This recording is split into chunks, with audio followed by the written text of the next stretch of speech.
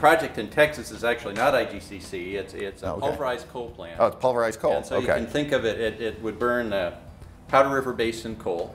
right. And it's commercial scale, 800 megawatt boiler, 600 megawatts net uh, to the grid. It would service the Electric Reliability Council of Texas.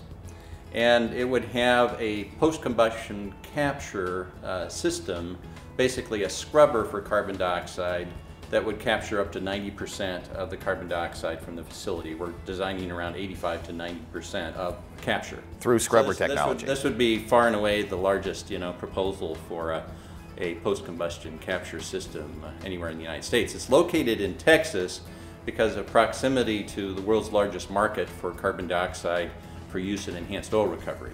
So you, you know, introduce carbon dioxide, the oil comes up. Some of the carbon dioxide comes up with the oil, but it's can easily captured and then re-injected back into the oil formation. So at the end of the day, carbon dioxide remains in the ground and in oil reservoirs that have been stable geologically for millions of years. That sounds like the kind of project that not only makes sense business-wise for a company like Tenaska, but also makes sense environmentally for not only the people in Texas, for this country, but globally when you're talking about spending that kind of money to reduce CO2 and, and almost, you know, find another use for it, but get rid of 90%. Yeah, that's right. I mean, we think there will be value. We think there's going to be regulations that limit CO2 emissions from power plants.